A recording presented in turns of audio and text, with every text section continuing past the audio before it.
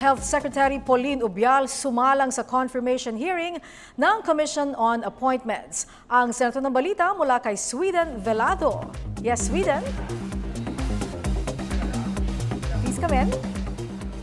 Angelique, tatlong oppositors ang hinarap ni Health Secretary Pauline Ubial sa kanyang uh, pag-confirmation hearing upang ganap na maging uh, kalihim ng kagawaran ng kalusugan. Tutol sa kanyang confirmation si Attorney Restituto Mendoza at uh, dahil nga uh, may plano itong Suubyal na i-dismiss ang nasa 7,000 nurses sa bansa at gawin ng ilan sa kanila na maging uh, contractual employees. Si Congressman Harry Roque at isa pang oppositor ay ilang aligasyon ng katiwalian ang ibinato kay Ubyal dahil umano sa pagbili ng uh, bakunang apat na beses na mas mataas ang presyo kaysa normal na presyo nito. Ginamit din aniya ang PON dengue vaccine para bumili ng pneumonia vaccine. Pero paglilinaw ni Obial, hindi totoo ang dismissal ng 7,000 nurses. Katunayan, aniya, uh, hiring sila ngayon ng 15,000 hanggang 20,000 nurses at may bukas ding plantilya o permanenteng posisyon para sa kanila.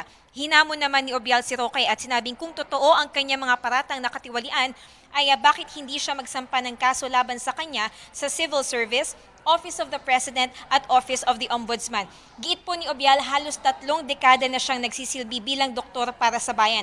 At anong man daw ang kanyang mataas na posisyong hinawakan sa Department of Health ay nakuha niya yun dahil sa kanyang malinis at magandang track record.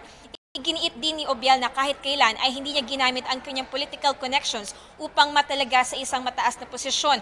Lihim daw ng uh, Department of Health ay ibinigay sa kanya ni Pangulong Rodrigo Duterte.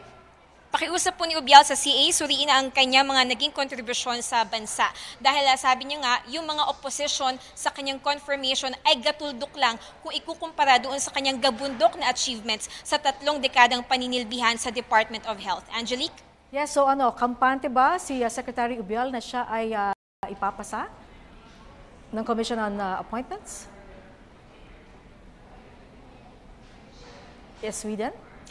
Angelique Campante naman itong si Secretary Ubial na siya ay makakapasa or makakalusot dito sa Commission on Appointments. Although meron pang mga ilang katanungan na kagaya ng na-raise kanina ni Senate Majority Floor Leader Tito Soto. Yun ay hinggil sa kanyang mga naging uh, travel sa kanyang uh, paninilbihan sa halos loob ng isang taon dito sa DOH. Pero ang sabi naman ni Obial ay magsusumite siya ng kompletong dokumento upang mailahad doon kung sino yung nagbayad para sa kanyang mga travel at uh, kagaya na lang ng kanyang paging, uh, pagbisita doon sa Geneva, Switzerland. Sinabi niya na yun ay binayaran ng World Health Organization. Yun naman ay para sa paglilinaw na lang. Angelique? Okay, thank you. Maraming salamat, Sweden Velado. Nag-uulat po live mula sa Senado.